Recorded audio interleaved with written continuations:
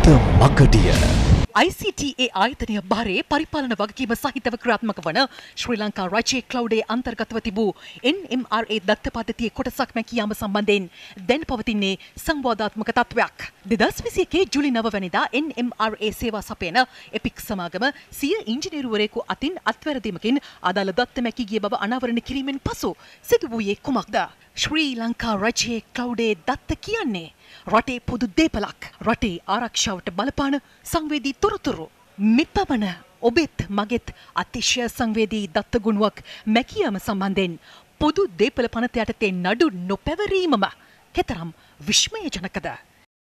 දත්ත මගඩිය. රජයට අයත් දේපලක් වන මූල්‍යමේ වටනාකමක් තියෙන දත්ත මකා දැමීම අනිවාර්යෙන්ම පොදු දේපල පනතට එරෙහි වරදක් වෙනවා. නමුත් අවාසනාවකට පොලිසිය තොරතුරු වාර්තා ඉදිරිපත් කිරීමේදී අත්අඩංගුවට ගත්ත සැකකරුට විරුද්ධව ඉතාම ලිහිල් කුදු සැකයක් පමණක් මතුවන්නා වූ ආකාරයට තමයි ඒ වාර්තාව ඉදිරිපත් කරේ. මෙතනින් පේනවා අනවශ්‍ය ලිහිල්භාවයක් දක්වලා තියෙනවා. ඒ වගේම නියම සැකකරු අත්අඩංගුවට ගත්තද කියන සැකේ මතුවෙනවා. හුදු මහජන පීඩනයෙන් බේරීම සඳහා පමණක් මේ ක්‍රියාව කළ බවයි පේන්නේ. මහජන දේපලට එරෙහි වරදක් පිළිබඳව සැකකොට දී වාර්තාවක් ඉදිරිපත් කළා නම් සැකකරුට අප ලබා ගන්න පුළුවන් වෙන්නේ නැහැ. ඒ සම්බන්ධව අධික ඉහළ අධිකරණයකින් අප ලබා දෙන තෙක් රක්ෂණ භාරයේ ඉන්න සිදුවේ. NMRA හි අධි සංවේදී තොරතුරු පද්ධතියෙන් කොටසක් අතුරුදන් කළ බව කියන ඉංජිනේරුවා දැන් මේ සිද්ධියේ සැඟවුණු අමුත්තාද.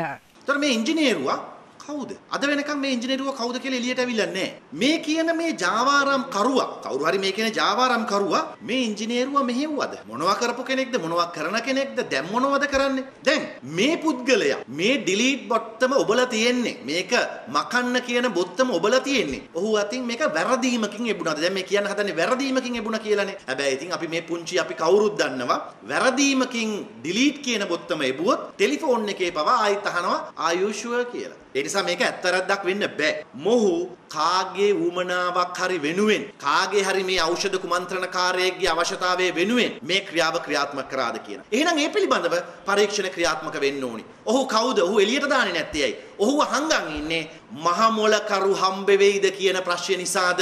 මිනිස්සු මරණ මරණයට පත් වෙන පටන් ගත්තොත් ඒවට වගකීම් බාර ගන්න ආයතන කවුද? මේ ඉංජිනේරුවාගේ අතපතු වීමකින්. ඒතකොට මේ පුද්ගලයා පිළිබඳව තාමත් සමාජගත කරලා නැහැ. කවුද මේ පුද්ගලයා කියලා? ඒතකොට රටට වැරද්දක් කළා නම් මේක මේ සාමාන්‍ය සිදුවීමක් නෙමෙයි මේ අතපසු වීමක් කියලා කියන්න බෑ. නිසා කරුණා කරලා මේ අයට වහාම දඬුවම් ලබා දීමේ කටයුත්ත කරන්න ඊගාවට මේ ඉංජිනේරුවා කවුද කියලා රටට හෙළි කරන්න ඊගාවට ඔහුට නීතිමය ක්‍රියාමාර්ග ගන්න. අපි පහුගිය වසර කීපෙදීම දැක්කේ බාල ඖෂධ රටට ගෙන්නීම තත්ත්වයෙන් උසස් නැති නැත්නම් ඒ ඒ මිල ගණන් වලට ගැලපෙන්නේ නැති ඖෂධ මේ රටට ගෙනීම කියන කරුණු කාරණා සම්බන්ධයෙන් මම හිතන්නේ රටේ නීති පද්ධතියෙන් ක්‍රියාත්මක වෙනවා නම් ඒ සම්බන්ධයෙන් මේ වෙනකොට සියලුම පාර්ශවයන්ගෙන් ප්‍රශ්න කරලා තියෙන්න ඕනේ. ඒ වගේම සියලුම පාර්ශවයන්ගේ මේ වෙනකොට ඒ සම්බන්ධයෙන් අවශ්‍ය කරුණු කාරණා පැහැදිලි කරගෙන ඔවුන් අත්අඩංගුවට ගත හැකි ක්‍රමවේදයක් සකස් කරන්න ඕනේ. මොකද ඒක මිලියන ගානක වංචාවක් නෙවෙයි. එහෙම වුණොත් බිලියන ගානක වංචාවක් වෙනවා. පහුගිය කාල සීමාවෙදීම අපි දැක්කා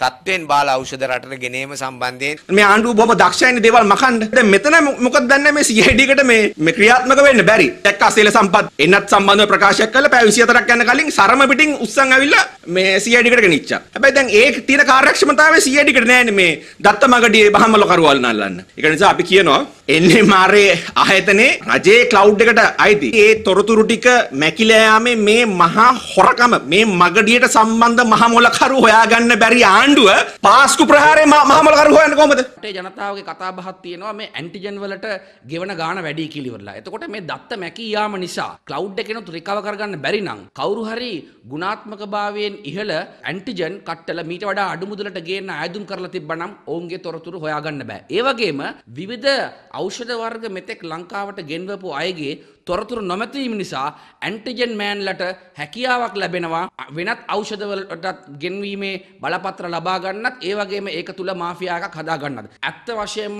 ICT ආයතනයේ නිලධාරීන් සාමාන්‍ය රාජ්‍ය සේවකයින්ට වඩා විශාල ලක්ෂ ගණන් වලින් පඩි ගණන් නිලධාරීන් විදිහට ඔවුන් කරලා තියෙන්නේ විශාල වරදක්. ඔවුන්ට දඬුවම් ලබා දී යුතුයි. ඒ නිසා මේ වගේ මහ දවාලේ සිදුවෙන මංකොල්ලකම් වලට විරුද්ධව මං හිතන්නේ ජනතාව මේකට පැලගැහෙන්න ඕන. මේ රටේ ජනතාවගේ එදිනදා එදිනෙදා සහ දීර්ඝකාලීන සෞඛ්‍ය සම්බන්ධ තියෙන දත්ත මේ නැති වෙලා තියෙන. මේකේ පිටිපස්සේ ඉන්න මහා මොලකරුවා කවුද කියන එක රජය හොයලා රටට කීම සහ ඔවුන්ට දඩුවන් ලබා දීම මං හිතන්නේ අනිවාර්යයෙන්ම සිදු විය යුතුයි. මම පෞද්ගලිකම දෙදස් දෙදස් විසිකේ අප්‍රේල් පස්වෙන්දා ඖෂධ නියාමන අධිකාරියට විරුද්ධව ඕ ඒ තිබෙන දූෂණ වංචා පිළිබඳ පැමිණිල්ලක් ඉදිරිපත් කරා. ඒ අනුව මාස දෙකක් තුනක් වගේ ඇතුළත ඒ පරීක්ෂණ කරන අතරතුර ඒ ඒ- ඒට අදාළ දත්ත කපඩාවේ තියෙන ලිපිගොනු විශාල පිරි- ප්‍රමාණයක් විනාශ කරලා තියෙනවා හිතාමතා. ඉතින් ඒක නිසා දත්ත විනාශ කරපු ඇත්තරම මේ වගේ අපරාධ පරීක්ෂණ දෙපාර්තමේන්තුවේ පරීක්ෂණයක් කරන අතරතුර ඒ වගේ දත්ත විනාශ කරන්න පුළුවන් තරම් සම්බන්ධකම් තියෙනවනේ තරාතිරම නොබලා ඒකට සම්බන්ධ පුද්ගලික සමාගමේ විතරක් නෙමෙයි ඒකට පිටි- ඒ පිටිපස්සේ ඉන්න